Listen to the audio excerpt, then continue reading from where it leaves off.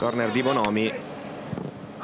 Con il suo cross in area di rigore il colpo di testa! Arriva il gol di Clinton! Nsiala Makengo 1-0 per il Milan!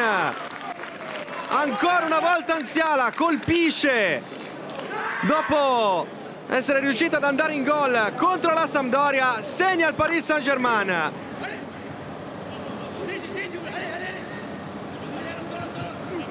Sala mette questo pallone in mezzo Camarda Camarda che gol ha fatto Francesco Camarda 2-0 per il Milan! Una rovesciata folle folle di Camarda folle! Un gol clamoroso di Francesco Camarda su un pallone messo all'indietro da Sala.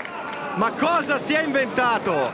Francesco Camarda Adoni, occhio all'inserimento in area di rigore di Fandra, bravissimo. A chiudere Jimenez, poi Zag in area, Zag e arriva il gol, e arriva il gol del Paré con uh, Tapin vincente sul secondo palo di Naga, Kissanga, Scodella dal lato opposto dove c'è Mbappé che la mette dentro, bassa, arriva il pari, arriva il pari del Paris Saint-Germain, ha segnato Adoni 2 a 2